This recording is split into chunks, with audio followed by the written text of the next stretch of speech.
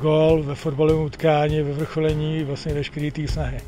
A jestli pomůže k vítězství v poslední minutě, tak o to je to stačí.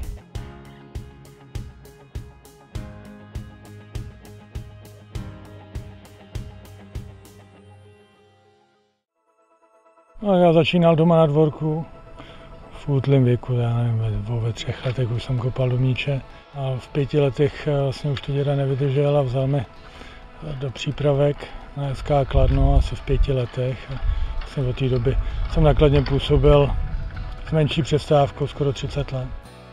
V 18 letech jsem odešel na vojnu do Dukly Praha, kde jsem byl tři roky. Celkem jsem čekal na svůj první ligový start, když musím říct, že to nebyla úplně nějaká přímočara cesta do první ligy, to vůbec ne z mé strany. A když jsem nastoupil, byl to i první ligový utkání proti Slovanu Bratislava, tak uh, se povedlo v druhém poločase, myslím, že to bylo taková odražená, taky odražený míč a levou nohou na přední tyč jsem skoroval.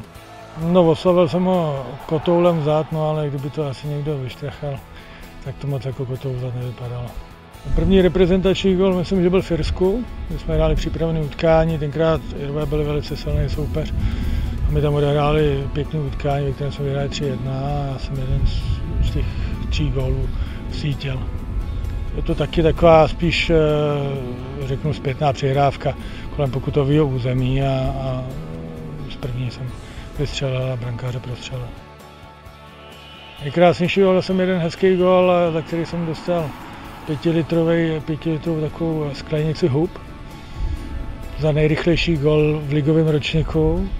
Byla to asi 30. vteřina, takový míč do, do vápna, soupeř to chtěl odkopnout a trefil mě přímo do pozadí a od mého pozadí se to odrazilo do šibenice, tak to byla paráda.